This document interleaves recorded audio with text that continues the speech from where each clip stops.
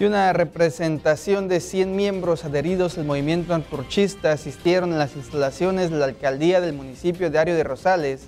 en atención a la cita acordada con el alcalde Zenobio Hernández Lara, donde se retomaron los acuerdos que no se han cumplido desde hace tiempo y que por cuarta vez se están revisando. Fue lo que dijo Rabí Núñez Medina, líder antorchista en ese municipio quien resaltó que la reunión con Hernández Lara se comprometió a llevar nuevamente el asunto del terreno para los licitantes hacia las dependencias del gobierno estatal que representa Silvano Aureoles. El próximo 14 de noviembre dará una respuesta,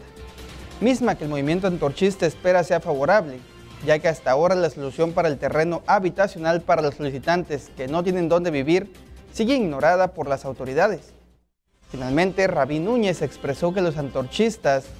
luchan por mejorar el entorno en el que viven y trabajan y organizados obtendrán lo que por años aspiraban